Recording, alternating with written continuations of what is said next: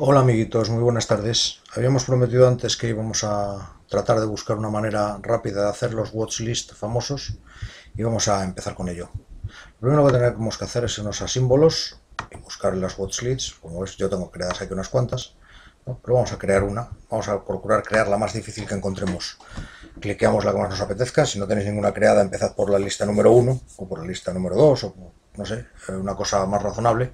Y vamos a crear la más complicada de todas, que es la de todos los valores del euro. Es, si lográis crear esta, todas las demás están tiradas. Pues el botón derecho del ratón nos cliqueamos en la lista deseada ¿no? y le decimos que bueno que queremos importar. Le damos a import y le decimos que ok, que queremos importarlo a la lista 33. Si vosotros tenéis otro nombre al nombre que tengáis, y le importamos. ¿Desde dónde le importamos? Pues le importamos desde el sitio en el que tengamos las listas de valores que utilizamos para el Yahoo. Pues estarán aquí. No, no están aquí. Vamos a ver dónde las tengo yo. Listas a mi broker. TXT. Estas, ¿ves? Y entonces vamos a coger primera, primera lista del euro. Pues la primera lista del euro puede ser Alemania, ¿no?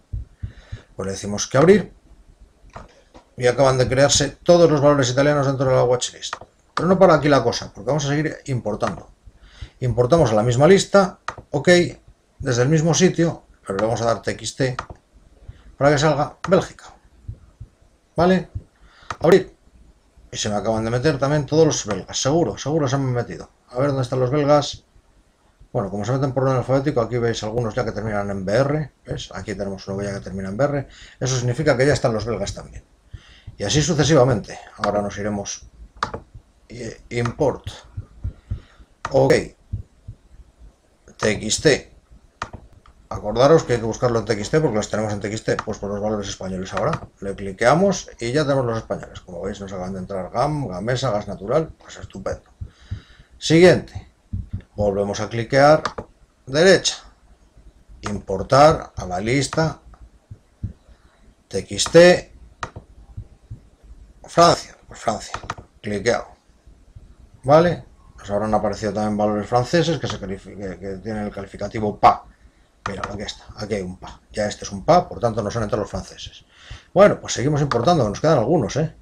Importar a la lista que ya tenemos seleccionada en TXT, porque tenemos las, listas en TXT.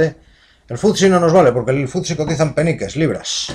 Holanda, sí, Holanda tiene euro. Pues venga, euro, marchando. Seguimos. Importamos a la misma lista. En TXT. ¿Cuál más tenemos por aquí? El IBEX no, porque el IBEX es un índice y estamos haciendo mercados. Italia, pues Italia sí, pues la importamos. Importada queda. Importar otra vez. A la misma lista. En TXT. ¿Qué nos queda? El Nasdaq no, porque es dólares. El NISE no. Ah, Portugal. Portugal se nos queda. Pues Portugal. Portugal. Ya están todos metidos. Señores, acabamos de crear la lista que se llama Todos Euro. Todos Euro y tan contentos. Esta sería la lista a la que hay que referir el, el, índice que queramos comparar con el euro en los indicadores de amplitud. Aquí es sencillito. Bueno, pues como está todas. Ser buenos, hasta luego.